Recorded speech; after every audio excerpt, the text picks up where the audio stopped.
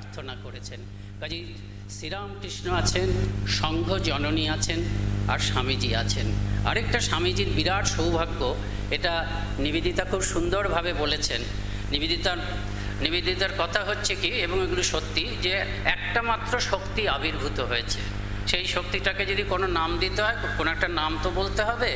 সেই জন্য নিবেদিতা এটার নাম দিয়েছেন শ্রীরামকৃষ্ণ বিবেকানন্দ শক্তি। এই যে আমরা বলি শ্রীরামকৃষ্ণ বিবেকানন্দ মুভমেন্ট, শ্রীরামকৃষ্ণ বিবেকানন্দ আইডিওলজি, এটা আমরা নিবেদিতার কাছে পেয়েছি। তা সেই শক্তিটার সঙ্গে নিবেদিতা ওই উপনিষদের যুগকে, উপনিষদের ঋষিরা যা আবিষ্কার করেছেন, সেটাকে এক বলছেন। রাজর্ষি জন, ভারতবর্ষের রাজর্ষিরা যা অনুভব করেছেন ভারতবর্ষের যুগ যুগ ধরে সাধু সন্তরা যা অনুভব করেছেন। নিবেদিতা বলছেন, সেই শক্তি এবারে আবির্ভূত হয়েছে এবং সেই শক্তিকে নিবেদিতা বলেছেন ন্যাশনালিটি জাতীয়তা এবং সেই শক্তি হচ্ছে রামকৃষ্ণ বিবেকানন্দ শক্তি। তা নিবেদিতা বলছেন, শুধু রামকৃষ্ণ, বিবেকানন্দ আর সারদা দেবী নয় সমস্ত গুরু ভাই যারা আছেন, সবার মধ্য দিয়ে এক শক্তি প্রকাশিত হচ্ছে। এবং যেমন বিবেকানন্দের শ্রীরামকৃষ্ণের মিশন সার্থক হতো না, যদি বিবেকানন্দ না থাকতেন, তেমনি বিবেকানন্দও সার্থক হতে পারতেন না। তুচ্ছ হয়ে যেত। মিনিংলেস উড হ্যাভ বিন যখন বলছেন শ্রীরামকৃষ্ণের যে আদর্শ, সেটা মিনিংলেস হয়ে যেত, যদি বিবেকানন্দ না থাকতেন, তেমনি triple it would have been এই বলছেন। যে এত তুচ্ছ হয়ে যেত বিবেকানন্দের মিশন যদি তার সঙ্গে তার এই যে বিরাট বিরাট যে গুরু ভাইয়েরা, তারা না থাকতেন। এই রামকৃষ্ণ সংঘের মিশনের মানে স্বামীজি যে কত বড় তার যে সাংগঠনিক শক্তি ছিল সব থেকে বড় কথা হচ্ছে কি প্রকৃত লিডারের লক্ষণ হচ্ছেই তিনি তার স্বপ্নকে, যেটাকে আমরা বলি ভিশন মিশন, এসব আজকাল আমরা বলি, তিনি তার স্বপ্নকে অন্যের মধ্যে সঞ্চারিত করতে পারেন। স্বামীজি সেটা পেরেছিলেন। এই রাজা মহারাজজি এবং অন্যদের কাছে বিবেকানন্দের সংঘ সম্পর্কিত যে স্বপ্ন, সেটা তাদের নিজের স্বপ্ন হয়ে গেছিল। এবং তার ফলে কি হয়েছে? আমাদের সৌভাগ্য যে উনিশশো চৌত্রিশ খ্রিস্টাব্দ পর্যন্ত, বিজ্ঞান মহারাজ পর্যন্ত ধরছি, তা আরও একটু পরে বোধ হয় উনিশশো সাঁত্রিশ টাঁত্রিশ হচ্ছে। তার চল্লিশ বছর, রামকৃষ্ণ মিশন প্রতিষ্ঠার পরে স্বামীজি পাঁচ বছর বেঁচেছিলেন। এই একশো পঁচিশ বছরের মধ্যে মাত্র পাঁচ বছর স্বামীজি বেঁচেছিলেন। কিন্তু এই দু হাজার বাইশ সালেও যে রামকৃষ্ণ মিশন, সেই রামকৃষ্ণ মিশন স্বামীজিরই মিশন। তার থেকে একটুও বিচ্যুতি হয়নি। তার কারণটা কি?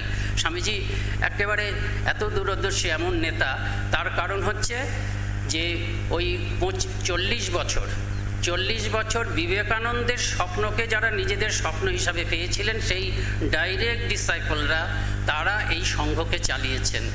পরিচালকের দিক থেকে অ্যাডমিনিস্ট্রেটিভ দিক থেকে এবং আধ্যাত্মিক দিক থেকে। এবং সেই চল্লিশ বছরের মধ্যে তারা পরবর্তী প্রজন্ম তৈরি করে দিয়ে গেছেন। আর স্বামীজি আরেকটা যেটা কাজ করেছেন, ওই নিয়মাবলী তৈরি করে দিয়ে গেছিলেন। একশো চল্লিশটা নিয়মাবলী, ওগুলো হচ্ছে আমাদের বেদ। তার জন্য কি হচ্ছে? এই রামকৃষ্ণ মিশন।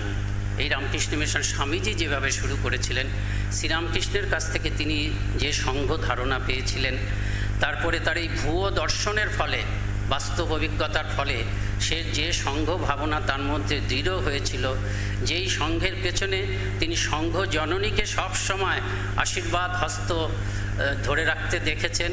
যে সংঘ ভাবনাকে তিনি তার গুরু ভাইদের মধ্যে সঞ্চারিত করেছিলেন, যারা এক একজনই বিবেকানন্দের মতন। মহাপুরুষ মহারাজ বলেছিলেন এই স্বাধীনতা সংগ্রামের সময়, যে স্বামীজির কথা কি বলছো? আমরাই গোটা ভারতবর্ষকে, পৃথিবীকে তোলপাড় করে দিতে পারি। এটা করেছিলেন সেই সংঘ এখনও পর্যন্ত চলছে, যার জন্য রাজা মহারাজজি বলেছিলেন অন্যদেরকে পরবর্তী প্রজন্মের জন্য যে আমরা সবাই আমরা সবাই ছাঁচ তৈরি করে দিয়ে গেলাম। তোরা শুধু দাগা বুলিয়ে দিয়ে যা। মনে হতে পারে দাগা বুলিয়ে যাওয়া মানে কি স্ট্যাগনেশন তা না। ওই যে ছাঁচ করেছেন, তার মধ্যে গ্রহণের সুযোগও রেখেছেন। একেবারে ধ্রুব সত্য, চিরন্তন সত্য, আধ্যাত্মিক সত্যতে স্থিত থেকে জগদ্ধিতের কাজের জন্য আমরা গ্রহণ করব। আমরা পাল্টাবো। আমরা পাল্টাবো আমাদের জগদ্ধিত কাজের প্রণালীতে, কিন্তু আত্মমুক্তির কাজে আমরা সবসময় প্রাচীন থাকব। কাজেই এই দাগা গোলানো আমরা যতদিন করতে পারব, আমরা ততদিন এই রামকৃষ্ণ মিশন সগৌরবে চলতে থাকবে। স্বামীজি বলেছেন, পনেরোশো বছর চলবে মিনিমাম আর মহাপুরুষ মহারাজজি বলছেন, যতদিন ত্যাগ বৈরাগ্য থাকবে, ততদিন পর্যন্ত এটা চলবে।